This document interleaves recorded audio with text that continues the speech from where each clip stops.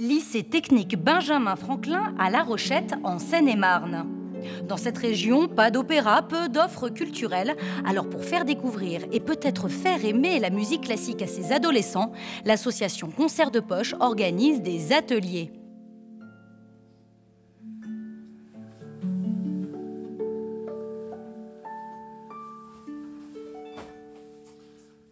Commencer, en fait, je vais vous jouer une pièce de Claude Debussy. Ça vous dit quelque chose ou pas qui Euh, peu importe, ça c'est pas important. Euh, je vais vous jouer une musique que vous avez peut-être déjà entendue. Surprise.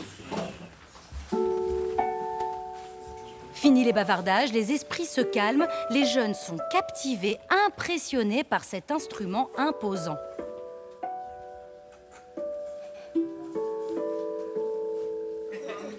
D'ailleurs, à ton avis, c'est quoi le bois Non, c'est pas du chêne, mais ça pourrait. Non plus. Mais il y a des bonnes idées. Hein non, c'est pas du boulot. Celle-là, elle est en érable. Il y en a aussi en cerisier.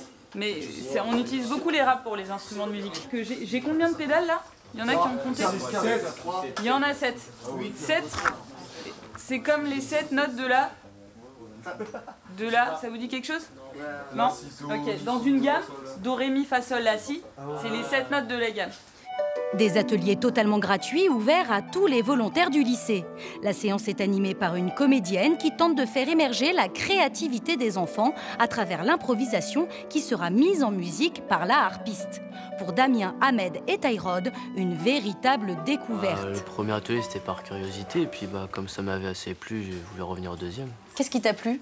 J'ai bien aimé parce qu'on pouvait, c'était nous-mêmes qui créons l'histoire, on inventait euh, qu'on voulait à peu près quoi. Et puis bah, j'avais envie de connaître la suite. C'est la première fois que je vois quelqu'un jouer de l'harpe euh, en vrai. Qu'est-ce que t'aimes bien dans cet atelier?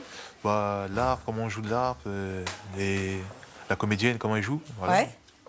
La responsable de l'action culturelle nous explique la genèse et le fonctionnement des concerts de poche. Comment vous est venue cette idée? Alors les concerts de poche, c'est une association qui existe depuis maintenant plus de 10 ans.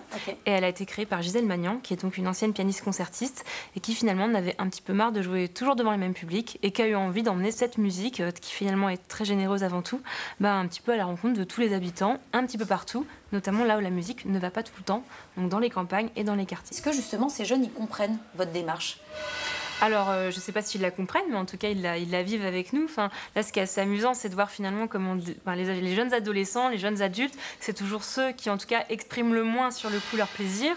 Mais finalement, on voit bien que ben, quand, on les entend, quand on entend jouer euh, quelque chose, il y a quand même un, un silence qui s'instaure. Il y a quand même euh, voilà, ce côté très ludique où ils ont tous envie de participer. Oui, il y a une vraie jouer, participation, c'est Ouais, assez impressionnant. Donc voilà, c'est vrai que les grands adolescents, c'est pas ceux qui expriment le plus leur plaisir par rapport à ça, mais il y a toujours beaucoup de, de sensibilité, de curiosité. Après les ateliers, un concert de musique classique est organisé dans la ville ou à proximité avec l'espoir de voir dans le public les jeunes initiés.